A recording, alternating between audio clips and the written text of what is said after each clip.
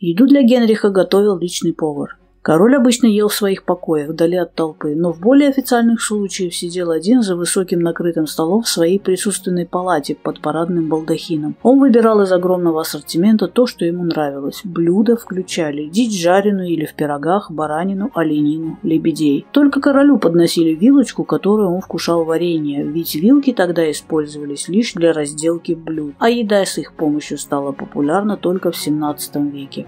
У короля Генриха был огромный двор советников, слуг и разных других нахлебников, которых требовалось кормить дважды в день. Первый прием пищи был в 10 утра, второй в 16.00.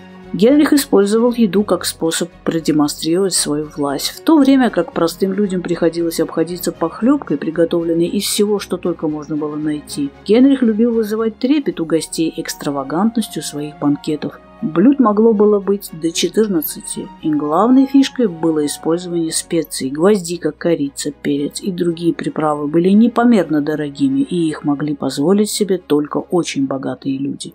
Жареное на вертеле мясо занимало центральное место в трапезе. В обычные дни это была свинина или баранина. В особых случаях подавали павлинов, цапель, лебедей. Также подавались гуси, кряквы, кролики и зайцы.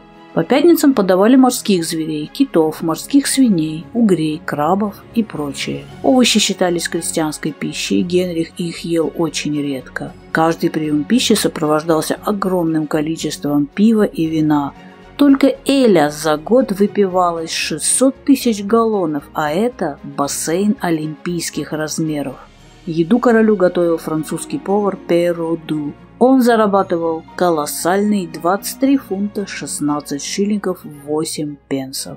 Любимые десерты Генриха VIII – пироги с апельсинами, оладьи, желе, вишня и клубника –